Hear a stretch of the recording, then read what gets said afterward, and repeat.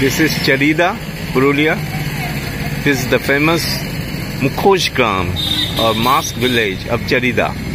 Here the artisans have created excellent handwork. Is a mosque.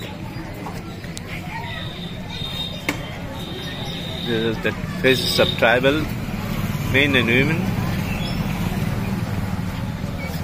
This is uh, Lord Shiva, and those are all must used usually in the Chhau dance.